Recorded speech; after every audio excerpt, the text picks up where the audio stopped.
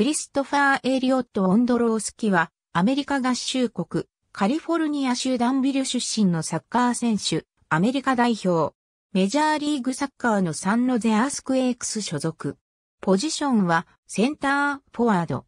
先住民族の一つであるカイオワの生まれである母と、ポーランド系アメリカ人である父との間に生まれる。父方の祖父は7歳の時に家族と共に、ワルシャーからアメリカへ移住した。また、父のジョンは、少年サッカーの指導者であり、弟のスティーブンとマシューもサッカーをしていた。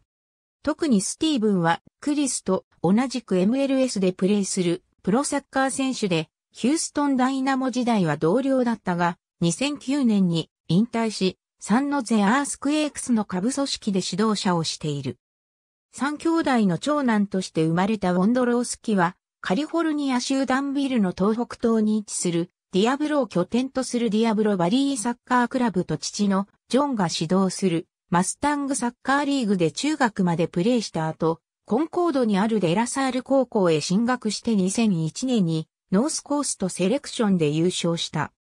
また、高校まではサッカー以外にも陸上競技、野球、バスケットボールで活動しており、野球では中学時代に内野手としてサンラモンバレーリトルリーグのオールスターに選出され、高校時代は後の MLB 外野手、クリス・カーターと一緒だった。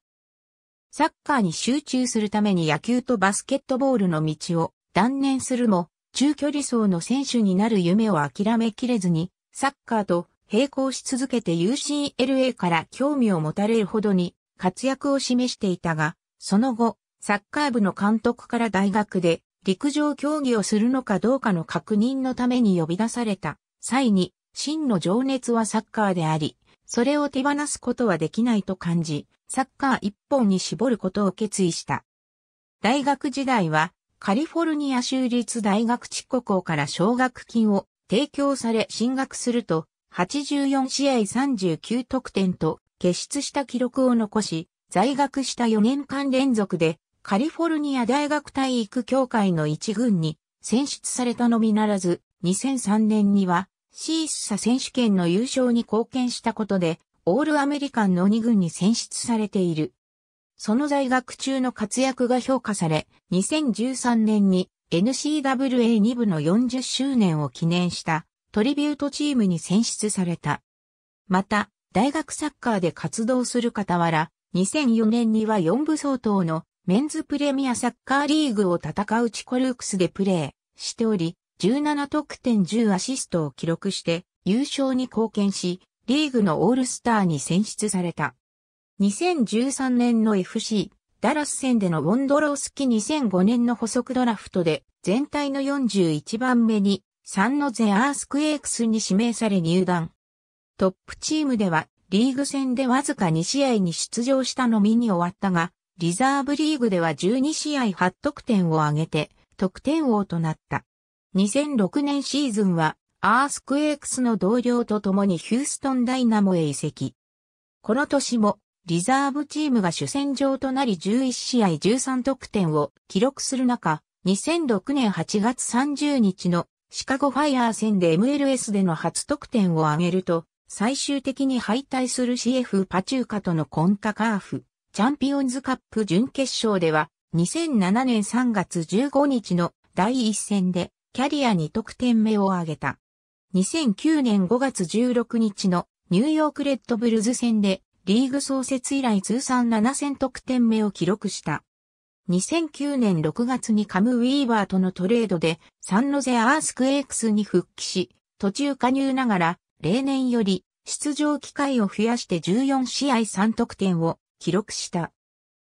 翌2010年シーズンは前半戦だけで6得点を挙げる活躍を見せ、後半戦も着実に得点数を伸ばしていく中で9月25日のトロント FC 戦でハットトリックを達成すると、10月20日のチーバス USA で2度目のハットトリックを達成すると、それまでの5シーズンでわずか7得点しか挙げられなかったウォンドロースキがついにブレイクを果たし、最終的に26試合18得点で得点王に輝いて、チームを2008年に MLS 参加してから初となるプレーオフ進出に導いた。そのプレーオフではカンファレンスセミファイナルのニューヨークレッドブルズとの第2戦で2試合合計2から2の中、決勝点を挙げてカンファレンスファイナル進出に貢献した。2011年シーズンは3月27日の FC ダラス戦で試合開始5分にクロスボールをボックス内で受け、胸のトラップから素早く回転してボレーシュートを放ち、相手 GK ケビン・ハートマンに仕事をさせずに先制点を挙げると23分にセットプレーから追加点を挙げてシーズン早々から2得点を挙げる活躍を見せ、最終的に同園でロサリオと並んでリーグ最多の16得点を挙げた。しかし、MLS では得点数で同点の場合にアシスト数で決着をつけることとなっており、デロサリオが12アシスト、ウォンドロースキが3アシストのために得点王のタイトル獲得とはならなかった。2012年シーズン開幕前の2月にサンロゼアークスクエイクと契約を延長し、例年以上にハイペースで得点を上げる活躍から MLS オールスターゲームに選出されると、その際に NBC スポーツのドキュメンタリー番組 MLS36 の対象となり、オールスターが開催されるフィラデルフィアへの到着の場面や試合中が撮影された。肝心の試合は、ディエリアンリのクロスをジョン・テリーが処理する最中に詰め寄って、クリアを防ぎ、テリーがつまずく隙を逃さずにボールをダッシュしてそのまま先制点を挙げると、素晴らしい一連の動作から、ハーフタイム中に、テリーから賛辞を送られ、まさに自分にとって悪夢だったと言わしめるほどだった。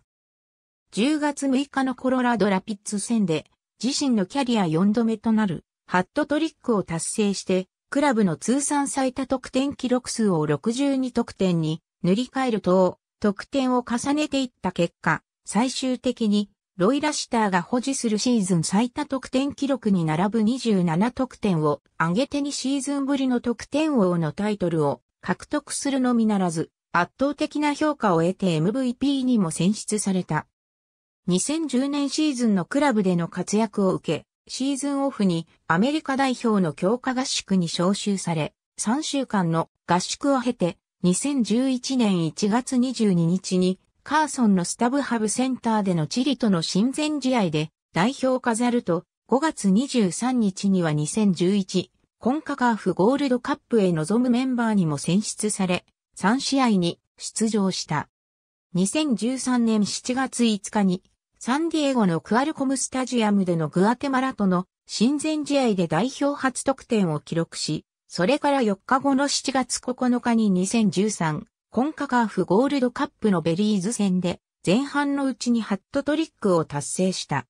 なお、同試合ではユニフォームネームにワンドラウスキーと W が一つ余分についたミススペルのユニフォームでプレーした。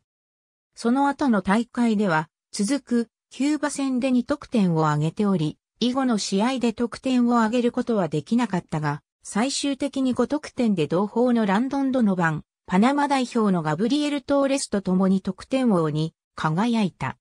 2014年2月1日に韓国との親善試合で2得点を挙げ、自身の通算得点数を伸ばした。ありがとうございます。